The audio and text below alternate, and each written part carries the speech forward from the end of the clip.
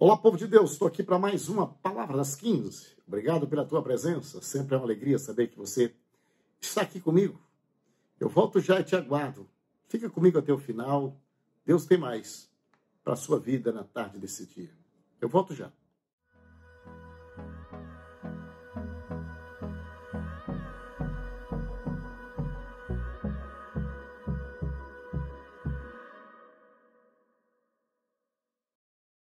Palavra das 15 já está no ar.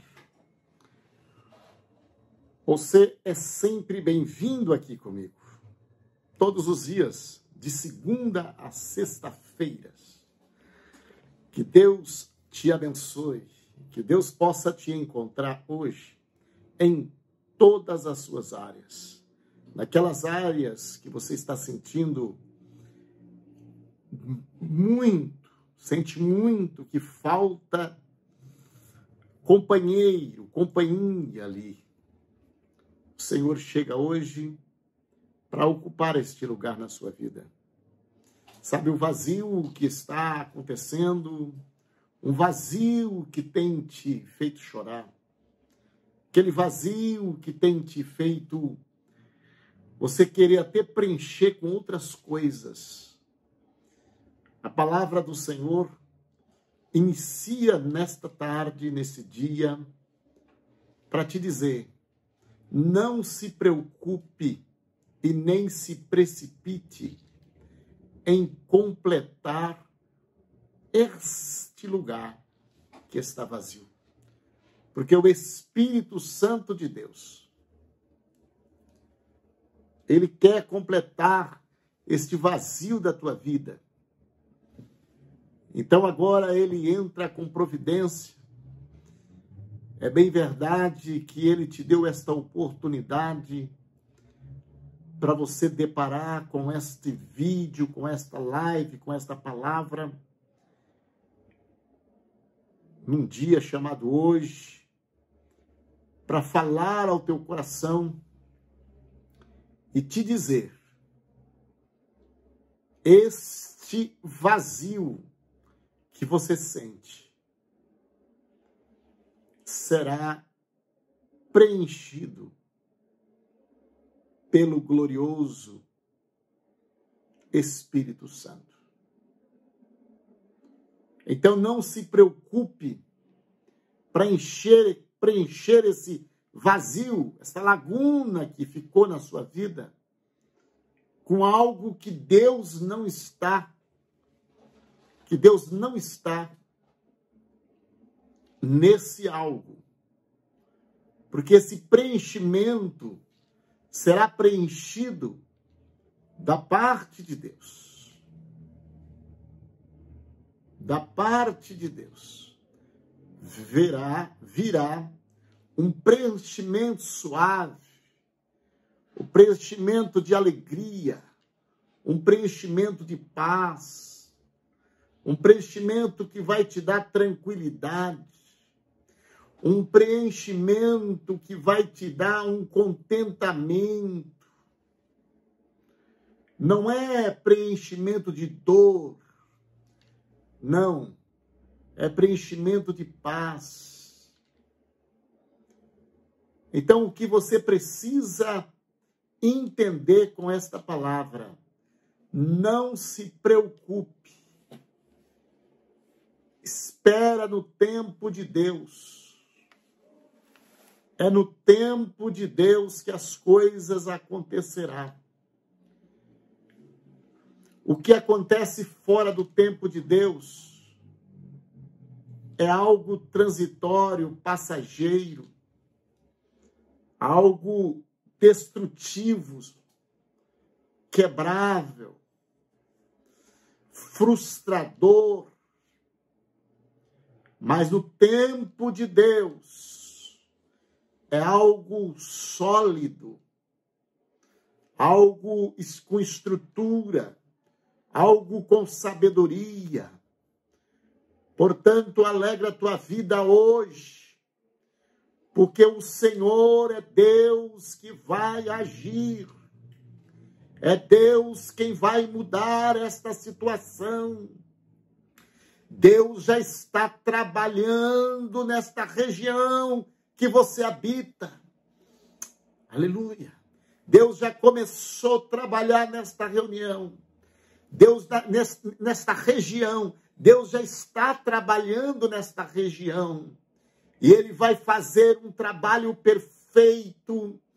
E tu não sofrerás mais por esta causa. É, é solução total. Não é solução parcial que Deus tem para você. É uma solução total.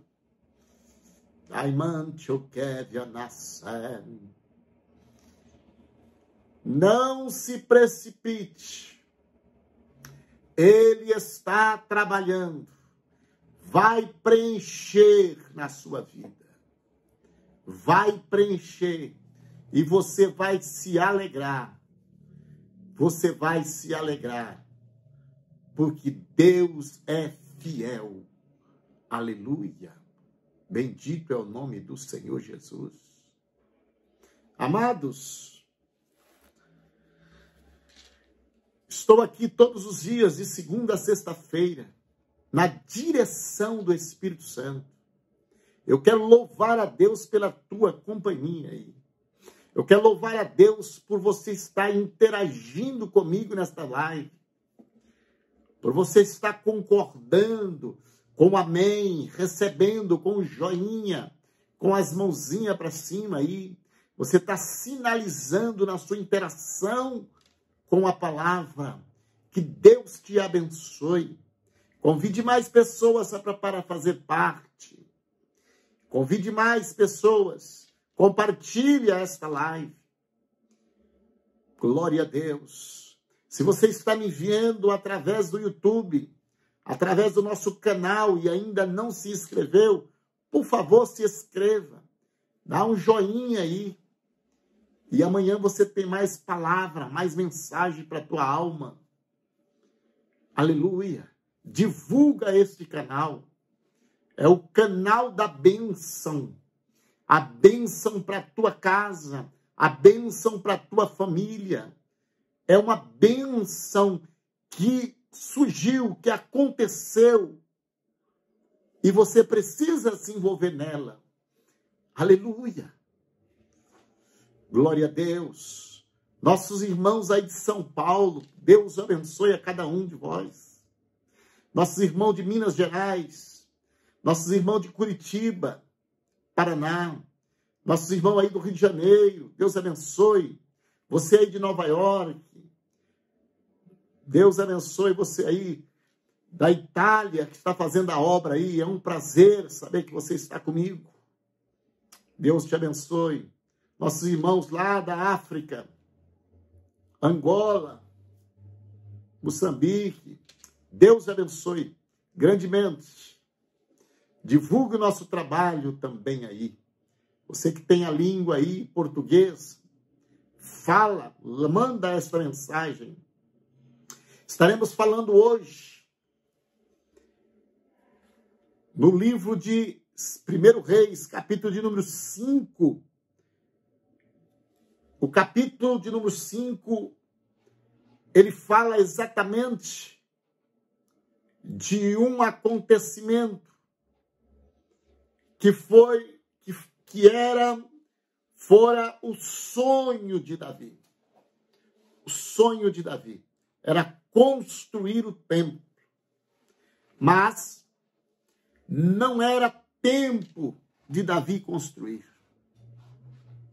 Então Deus não permitiu que Davi fizesse. Deus veio permitir que Salomão, seu, seu filho, construísse o templo. Então, a partir do capítulo 5 de 1 Reis, começa a tratar este assunto. Eu quero tirar algumas lições aqui, é, pontualizando aqui é, é, é informações que nos que nos que serve de nossa palavra rema para a tua vida. Existiu o rei de Tiro, rei por nome de Irão, o rei Irão visita Salomão para dar as suas boas-vindas. quando soube que Salomão assumiu é, o reinado de Israel no lugar de vosso pai. Então, a conversa que ele teve com Salomão, ela disse: Salomão, pode contar comigo, eu era amigo do seu pai, estou aqui para te servir no que você precisar. E Salomão começou a conversa com ele, dizendo: Você sabe que meu pai, Davi, não pôde construir o templo em honra ao nome do Senhor, seu Deus, por causa das muitas guerras que as nações vizinhas travaram contra ele. Não podia construir enquanto o Senhor não lhe desse vitória sobre todos os seus inimigos. Eu quero falar nesta rápidas palavras dizer: nada acontece fora do tempo. O mesmo Deus, o mesmo Deus que desenha o templo para Davi, para Davi construir, é o mesmo Deus que dará vitórias, N vitórias para Davi. É o mesmo Deus que acalma a guerra. É o mesmo Deus que controla o início e o fim. É o mesmo Deus que controla a vida. É o mesmo Senhor. É o Senhor do templo e o Senhor do tempo. Mas Salomão faz uma declaração agora dizendo: meu pai não poderia, não pôde é construir, realizar o seu sonho por causa de muitas guerras. E ele queria realizar algo para Deus, para o Senhor. E ele não conseguiu por causa de muitas guerras. Moral dessa história: nada acontece fora do tempo de Deus. Nada acontece fora do tempo. Deus tem poder para cessar guerras? Sim. Deus poderia ter cessado esta guerra? Sim, mas nada acontece fora do tempo de Deus. Então Salomão faz uma declaração: meu pai não construiu, não, porque ele não podia construir por conta da guerra, mas o que ele queria construir era um sonho, um templo, a honra do nosso Senhor, do nome do Senhor, seu Deus.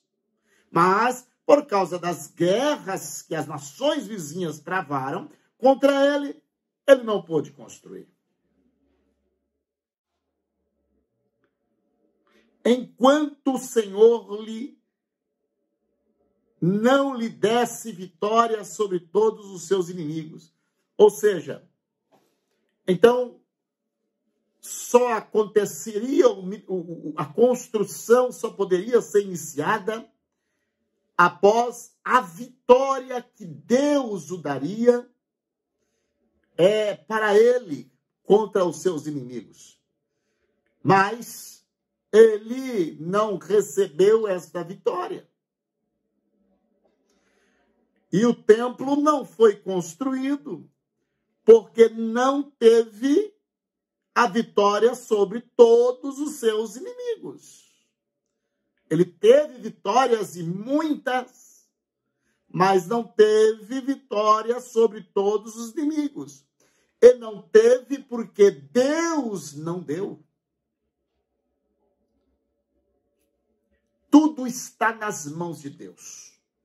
Tudo está no controle de Deus. Então acalma tua alma na tarde desse dia e aprenda a confiar e acreditar. Aprenda a respeitar o querer de Deus. O que acontece, acontece na vida do santo dentro da direção do querer de Deus. Não é nós que controlamos nada. Não somos nós que temos aqui o controle. Não, não. Uma vez que você decidiu a ser filho do Altíssimo, logo, logo, logo você está, logo você está nas mãos de Deus, no controle de Deus. Aleluia. Então, não precisa se preocupar com nada. Não precisa se preocupar. Viva tranquilo. Deixa Deus levar a sua vida. Deixa Deus conduzir a tua vida. Não é tempo de construir, não constrói. Mas eu tenho uma palavra para o teu coração. Deus preparará o tempo de construir para a sua vida o tempo de construir para a sua vida, Deus preparará. Salomão diz: Meu pai não construiu porque precisava, era condicional essa construção. Era necessário ter a vitória sobre os inimigos. Portanto, não teve vitória sobre os inimigos, então não construiu. Mas, na verdade, na verdade, é que todo o plano de Deus era para o filho fazer e não para Davi fazer. Era para Salomão fazer, porque o próprio Deus disse a, a, a Davi: o seu filho vai construir o seu templo em honra a mim, a do Senhor, e também honrando o próprio pai. Então era este o propósito de Deus. E só acontece, conclui o propósito de Deus. O nosso propósito, nós somos dependentes. Nós somos dependentes. Deus não dependia de cessar guerras, de fazer amizade com ninguém para construir o templo. Não. Deus não, Deus promove, ele faz o que ele bem quer. Só que uma forma humana de, de, de conduzir, Deus prepara Irão que é o, o rei de Tiro, para ter um bom relacionamento com Davi, e agora abraça a causa juntamente com Salomão. Verso 4: Agora, porém, o Senhor, meu Deus, ó Salomão, olha o Salomão com a maior glória a Deus, uma honra. Agora, porém, o Senhor, meu Deus, me deu paz em todas as fronteiras e eu quero aqui abrir um parênteses para liberar para você. E ele termina dizendo: tudo agora vai bem. Cessou a confusão entre os inimigos. Paz em todas as fronteiras. E eu quero ministrar a palavra na tua vida. Recebe paz para o teu coração aí. Recebe paz para o teu coração paz em todas as fronteiras da sua vida. Em todas as fronteiras da sua vida, recebe paz.